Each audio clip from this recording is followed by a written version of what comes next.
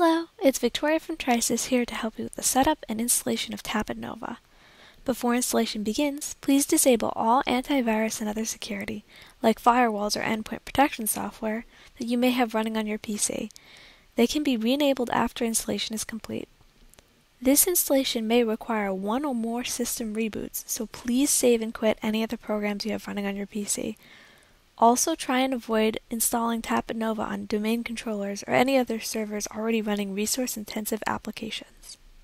The minimum requirements for a Tapit Nova computer are an Intel Core 2 Duo processor or AMD equivalent, 2 GB of RAM or 3 GB if your computer runs Windows 7 or Windows 2008, 80 GB of free space on the C drive, Microsoft Internet Explorer 7, monitor resolution access, a DVD drive, an RS-232 port if it is required for PBX interface, and Microsoft Windows XP Pro SP3, Windows 2003 32-bit, Windows 7 or 7 Pro, or Windows 2008 R2. Please note that Windows 2003 64-bit is not supported and that a Windows 2003 or 2008 server is required for 10 or more concurrent users. For users with Windows XP or Windows 2003, you'll need to install IIS. For Windows XP, installing IIS may require a Windows CD.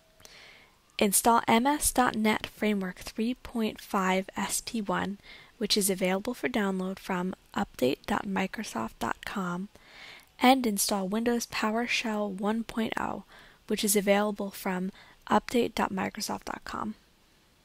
The first step in this process is to disable the user account control. To do this, you will have to open the control panel window and click on User Accounts and Family Settings. Once this page opens, click on the User Account section. After that, click on the User Account Control settings.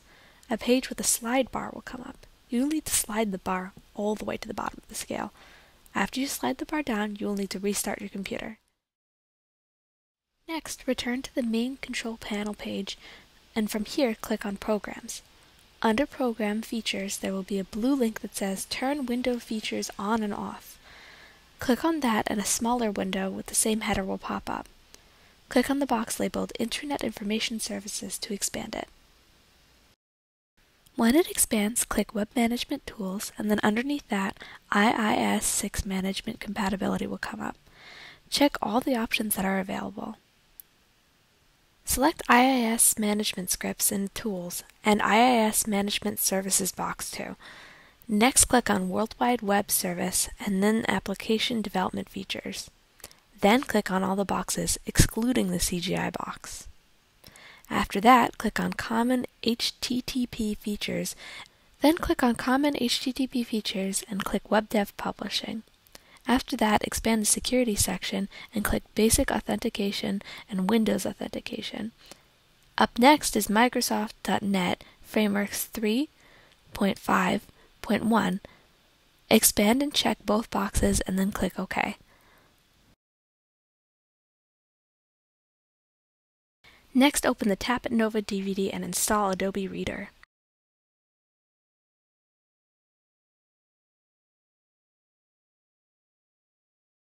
After that finishes, click on Install Prerequisites in the DVD to install SQL Server. This part is necessary even if you already have another version of SQL Server on your computer, because this version has been customized for Tapit Nova's needs. The Install Shield wizard will come up and you will need to follow its prompts, including accepting the terms of the license agreement. This installation may take up to 30 minutes to complete, so be prepared to wait a bit. I'm going to fast forward the process here so we can move on to the next step.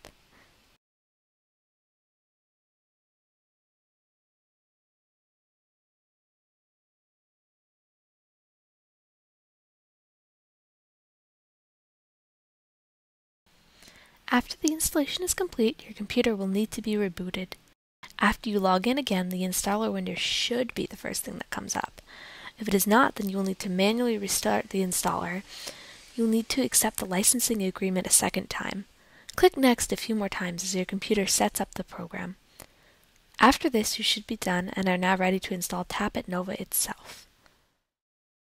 When installing Tapit Nova, open the C drive to bring up the Tapit Nova DVD, and this time press Install Tapit Nova. This will again open up the Install Shield wizard to begin the Nova installation. At this point, you should enter your serial number. If you do not, Nova will run as a 30-day demo, and you will be able to input a serial number at any time. Click Next until you get a button that says Install, and then click that to begin. After the installation is done, a prompt will come up asking if you want to run the Nova Updater. We strongly recommend that you do this because it will make sure that the version of Nova that you are running is completely up to date and that some potential issues are patched. This might take a moment to complete. After it finishes, you will be prompted to insert your local phone number for SMDR services. If you do not want this service, just click No. You can also click No for now and return to it later. Also, you can install optional software for extra services such as the IP collector and the CDR loader. Now you can open Tapit Nova. Once you've logged in, you can specify whether this account is attached to your main location, what your phone number is, and set up email messages to yourself. Also, if you want to use the email features of the software, you will need to obtain your company's SMTP configuration information from your network administrator.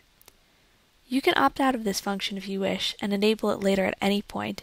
You can also specify if you are a first-time user or if you are upgrading an older program during this segment. Then you can press Finish and you will be led to the home page. Congratulations, you've finished your Tapit Nova installation.